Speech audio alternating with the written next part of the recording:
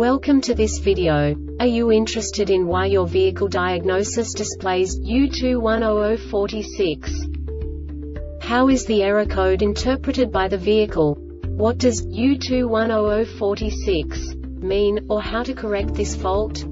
Today we will find answers to these questions together. Let's do this. First, let's look at the history of diagnostic fault code composition according to the OBD2 protocol, which is unified for all automakers since 2000. We divide the electric system of automobile into the four basic units. Powertrain, body, chassis, network. This distribution is defined in the first character code. If the second character is expressed as zero, it is a standardized error. In the case of numbers 1, 2, 3 it is a more prestigious expression of the car-specific error. The third character specifies a subset of errors. The distribution shown is valid only for the standardized DTC code. Only the last two characters define the specific fault of the group. The add-on to the error code serves to specify the status in more detail. For example, a short to the ground. Let's not forget that such a division is valid only if the other character code is expressed by the number 0. Our website airbagreset.sk produces useful videos for you. You do not have to go through the OBD2 protocol anymore to know how to troubleshoot any car breakdown. You will find all the diagnostic codes that can be diagnosed in a Infiniti vehicles. Also many other useful things. The following demonstration will help you look into the world of software for car control units.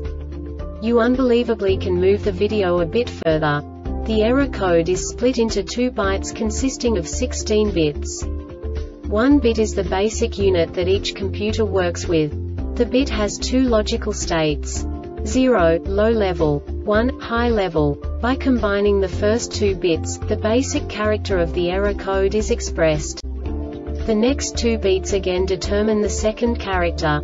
The last beat styles of the first byte define the third character of the code.